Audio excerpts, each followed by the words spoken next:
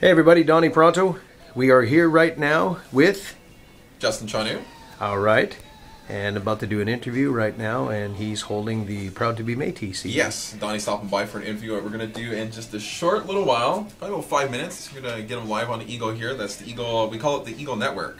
Because we got two signals, 103.3 and 107.7. Okay. And we both air them at the same time. So you'll be broadcast on two signals at the Okay, same time. and tell everybody where we're at. We are at the Kettle and Stony Point First Nation, which is located in southern Ontario. Awesome, man. Thank Canada. you. You're welcome.